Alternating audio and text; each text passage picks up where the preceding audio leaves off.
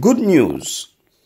Nnamdi receives UK government officials in DSS custody as document to get him released from detention is finally submitted.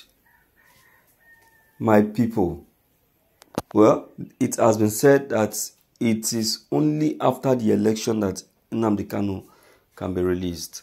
Well, uh, I believe that the presence of the UK government official is to get that effected. Uh, well, the people of Biafrans, I want to congratulate you anyway. I think the uh, the the IPOB leaders soon be leaving detention at any moment from now. Yes, but I know that it's going to be after the um, after the election. Okay, be it after, uh, today or after the election, to me, is still uh, is still the same. Um, Onyendu Nnamdi Kanu has accepted his fate, and that is why you saw that he's not uh, he's not worrying himself or he's not too worrying himself. He has always been himself. That is it. So um, I think the visits from the UK officials is for good, and it's going to be a testimony and there is presently a very big jubilation in the southeast. Uh, even while the the election is getting cooked up today, uh, there is fact that Nnamdi Kanu may be leaving any moment from now. That's the good news. So, uh, my people, don't don't don't be surprised because it's real. It's real. It's real. Let's check the contents. This is morning news. The government of the United Kingdom, through its consul, Mrs. Hitawiki, has met with the leader of the indigenous people of Biafra, IPOB Nnamdi Kanu, in the custody of the Department of the State Service, DSS.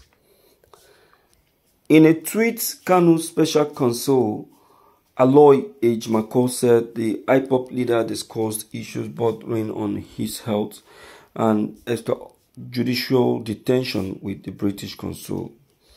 He wrote, Update I visited Mazi Nnamdi Kanu today at with the company of San Machuku Ume and Barrister Maxwell Opera. Mazi Nnamdi Kanu confirmed to me a recent visit by the British consul and that the matter of his extrajudicial detention and health were predominant. Other messages are legion but not for public consumption. He has promised Namdekano that his release will be immediately after the election as efforts to get him out soon is on facilitation. That is it. I know. I know that's what is going to happen. But be that as it may, we are still on course. Yeah. We are still on course. I know nothing is going to stop Nnamdi Kanu's freedom. Nothing is going to stop it. But be that as it may, I want to use this medium to still encourage the IPOBs, the agitors. I want to encourage them to remain resolute because that is what Onyendu Mazi Nnamdi is calling for and begging.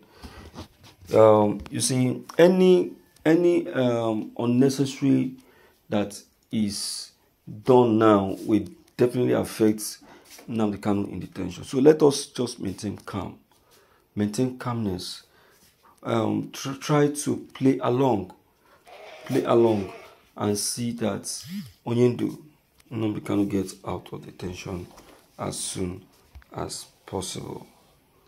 Okay? So please don't forget to comment. They are still very much important.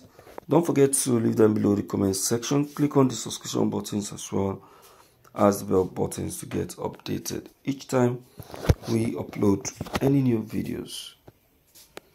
Thank you.